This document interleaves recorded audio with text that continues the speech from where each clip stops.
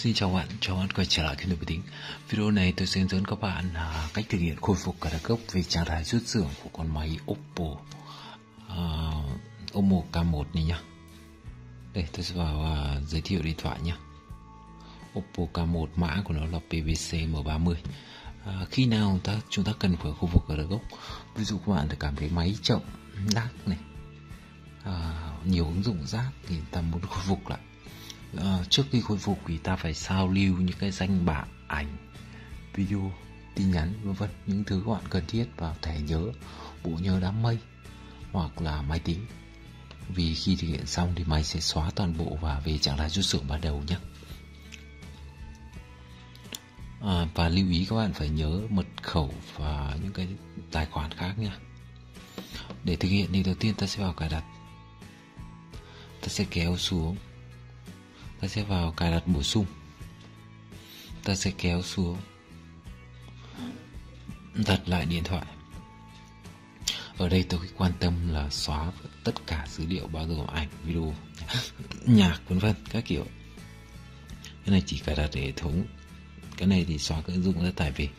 Cái này nó có nhiều lựa chọn nhé nhưng ở đây mình hướng dẫn các bạn là khóa về từ đầu thì mình sẽ chọn dòng này. Ta sẽ ấn vào cái dòng, xóa dữ liệu. Nó sẽ hỏi bạn một lần nữa, bạn có chắc chắn muốn tiếp tục không?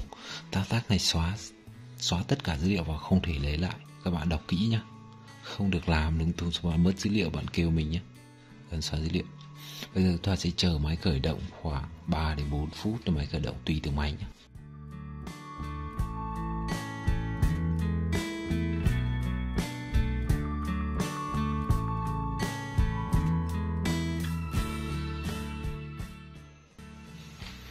Sau khi các bạn đợi khoảng 3-4 phút thì máy khởi động lên.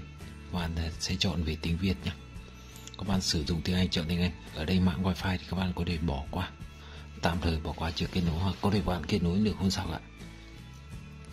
Cái này bạn tiếp theo. Mà đi khóa bạn đi sau. Sau. Cái tài khoản hay tap ID này Nếu bạn bị tài khoản hay tap ID này Bạn liên hệ đến Zalo mình để uh, xóa nhé Các bạn để sau. Tiếp theo tiếp theo. Tiếp theo. Đồng ý. Đồng ý này sau. Cross 7 nhá. Ta ấn bắt đầu. Có thể ấn bỏ qua trên này. Rồi, bây giờ thì máy đã về khôi phục trở về trạng thái rút xưởng rồi.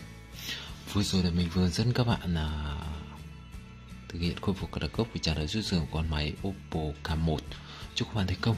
Các bạn nhớ like, chia sẻ, video đăng ký kênh của mình nhé chào các bạn